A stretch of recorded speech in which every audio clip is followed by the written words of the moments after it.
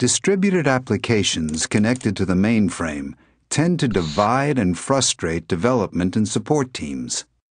The distributed team can't track application performance into the mainframe.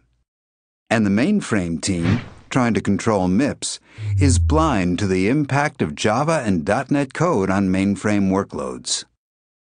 Serious application performance problems lead to unhappy customers and contentious war room sessions, where both teams spend unproductive hours, maybe days.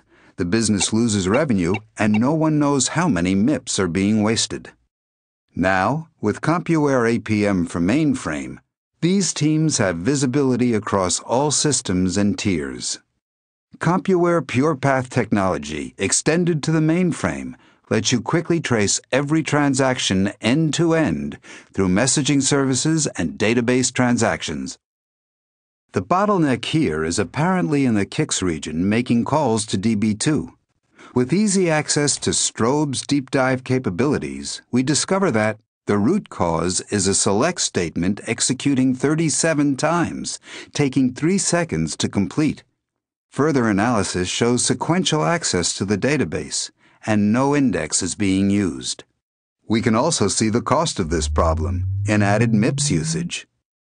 Extremely low overhead lets you do this end to end transaction tracing 24 7 in production. Strobe can even recommend corrective actions, assistance especially valued by less experienced mainframe hands.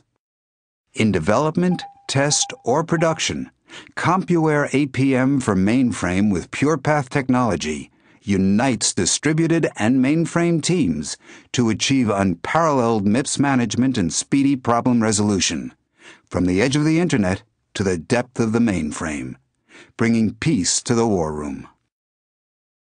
Here's where to learn more.